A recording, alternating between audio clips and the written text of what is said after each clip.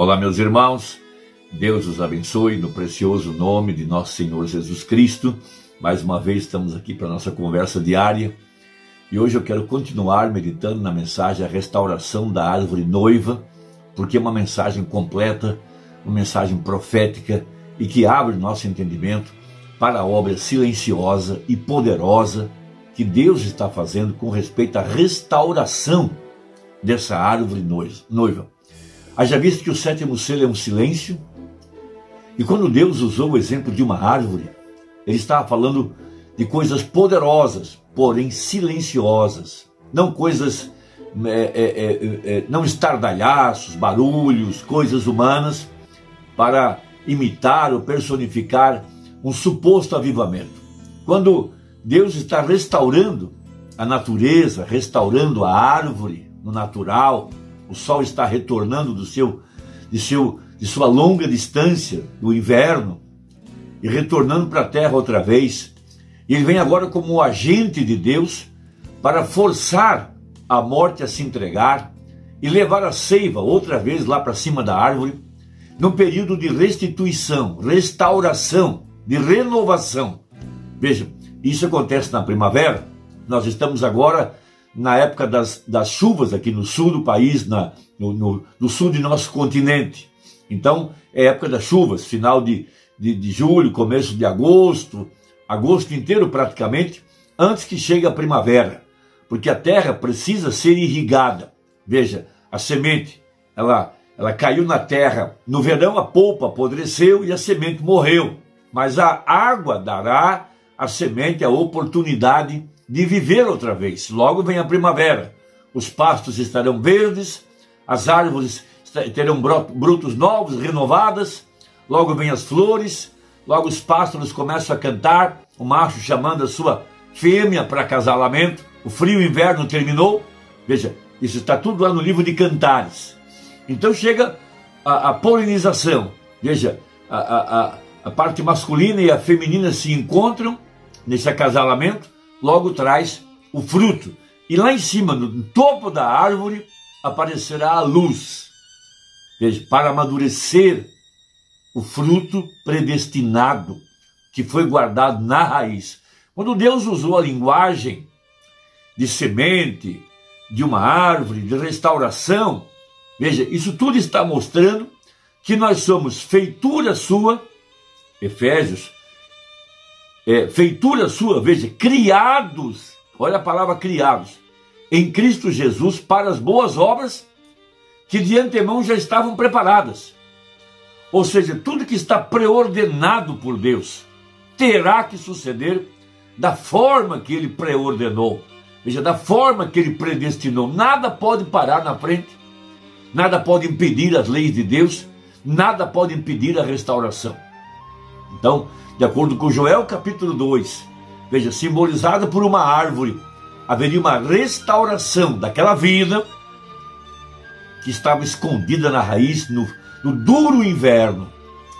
Por isso, os cristãos primitivos, veja, por onde eles passavam, eles colocavam aquele acróstico, veja, Arepo, Sator, Tenet e assim por diante, que numa língua estranha diz mais ou menos assim: aquele que controla o ciclo ou os ciclos manobra o arado, ou seja, ele sabe quando plantar, ele sabe aonde plantar, ele sabe que semente ele plantou e que semente vai aparecer em cena. Por isso ele usa essa expressão e Paulo fala a lei do espírito de vida que está na semente. Veja, isso mostra que tudo que Deus planejou, tudo que ele pensou, a respeito de sua semente eleita terá que acontecer. Por isso nós temos é, o exemplo bíblico lá, lá no Velho Testamento de Jacó e Esaú, mesmo antes de terem nascido. A Bíblia, diz, a Bíblia já dizia: o menor servirá ao maior. Amei Jacó e aborreci Esaú, sem terem feito obras, sem terem feito nada. Mas veja, um era predestinado e o outro não era. Veja, essa é a profecia, essa é a Bíblia, e esse era o segredo que Deus tinha guardado na parte de trás de sua mente e que agora foi revelado aos seus santos apóstolos e profetas e Deus está abrindo nosso entendimento para nos dar fé, nos dar paz, nos dar tranquilidade, nos colocar nesse descanso maravilhoso que é fé em Sua palavra. Agora, vamos tomar Zacarias 14, que é a profecia da luz do entardecer. Veja, Zacarias 14, verso 6. E acontecerá naquele dia que não haverá preciosa luz nem espessa escuridão, mas será um dia conhecido do Senhor, nem dia nem noite será. E acontecerá que no tempo da tarde haverá luz. Então tivemos um tempo aí, é, é, no começo do nosso século, lá pela, pelo meado, pelos meados do século XX, 1950, 1960, percorrendo até 1980, por aí. Veja, nós não podíamos ver muita clareza entre o que serve a Deus e o que não serve. Tudo parecia muito igual, tudo parecia muito certo, muito, muito verdadeiro, mas à medida que, que o sol vai, vai batendo sobre a semente, o fruto vai aparecendo, e nós vamos vendo a diferença entre os que servem a Deus e os que não servem, entre os limpos e os sujos, porque Jesus disse: pelo fruto conhecereis a árvore. Então, cada vez mais nítido está a, a semente eleita em relação à, à virginessa, em relação ao, mund, ao mundano, ao incrédulo e assim por diante. Então, para que, que foi, para, para, para o que Deus predestinou a luz do entardecer? Qual o propósito? Só existe um: é amadurecer o fruto predestinado no topo da árvore, é lá na, na ponta. Veja, lá no, no lugar mais alto. Vamos lembrar que quando a luz do novo mundo entrou para dentro da arca, veja, foi no aposento alto. Lá havia uma janela e quando Noé abriu ela, a luz entrou por lá, lá no aposento alto, não aqui embaixo no primeiro estágio ou no segundo estágio, foi lá em cima na terceira etapa.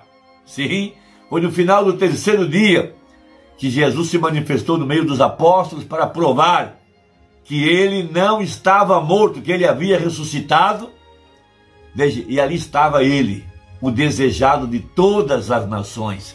Veja, isso, todo esse processo também tem a ver com o nascimento natural, água, sangue e na terceira fase o fôlego de vida. Isso tudo para mostrar a obra da restauração aqui no tempo do fim. Então, o profeta prega a mensagem de restauração da árvore noiva, parágrafo 447 dessa preciosa mensagem que abre esse poderoso mistério de Zacarias, capítulo 14, versos 6 e 7, a respeito da luz do entardecer, da grande profecia, da, da, do aparecimento da luz no monte do pôr do sol.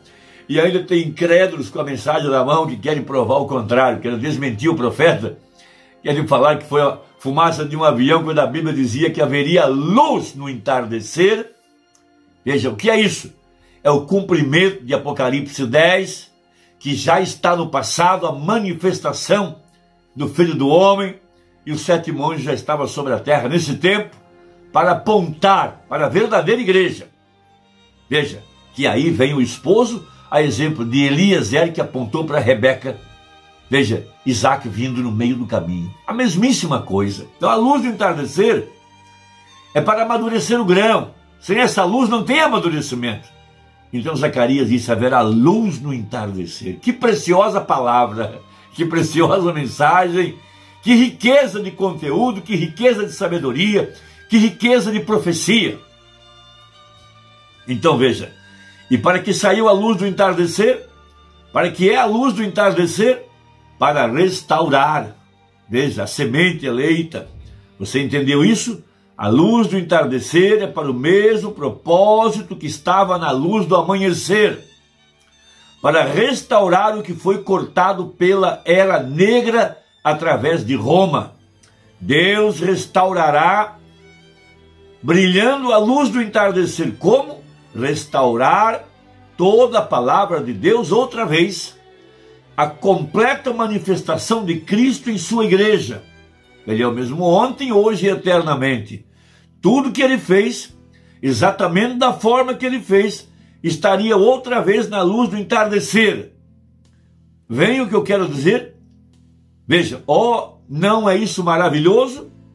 E saber que estamos vivendo bem aqui para vermos isso. Ele estava dando a interpretação do que havia acontecido no monte do pôr do sol.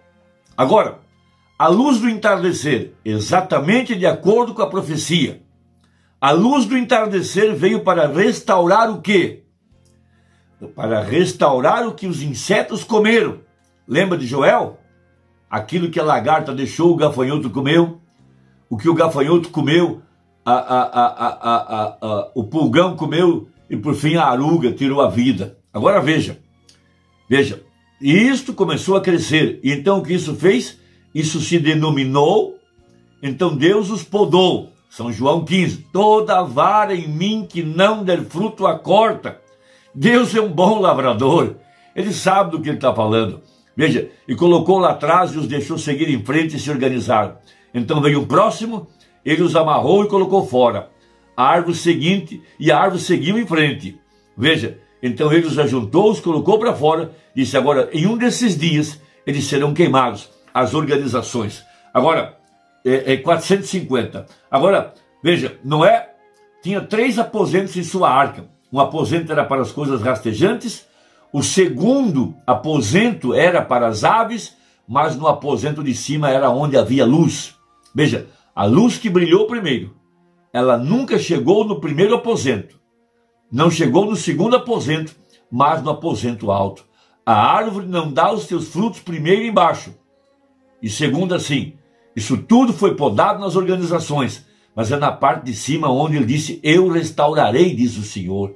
Veja, mas é na parte de cima: Eu restaurarei, diz o Senhor, e enviarei a luz do entardecer, e eu trarei de volta, trarei de volta a palavra, e farei com que ela se manifeste. Eu restaurarei tudo que prometi, tudo que tenho prometido. O mesmo Espírito Santo trará e testificará os mesmos sinais eu terei uma Páscoa, uma ressurreição para a noiva, o mesmo que eu tive para o noivo. Lá atrás, eles colocaram uma pedra que pesava toneladas, tiveram que empurrá-la até a porta do sepulcro, com o propósito de impedir que Jesus ressuscitasse como ele havia prometido. E hoje não importa o que o diabo colocou na frente, denominações, organizações, política, ciência, filosofia, organização, escândalos no meio da igreja, nada vai impedir que a árvore noiva seja restaurada mais uma vez. Veja, e ela já o foi nos dias do profeta de Malaquias 4, e será de novo aqui na igreja que está prestes a ser arrebatada, nessa restauração completa. Veja, o Espírito e a noiva dizem: Vem. Quem tem sede, venha. Quem quiser, beba de graça da água da vida. Deus te abençoe, espero que contribua. Aperta aí o sininho e deixe o seu comentário. Até a próxima, se Deus quiser, em nome de Jesus. Amém.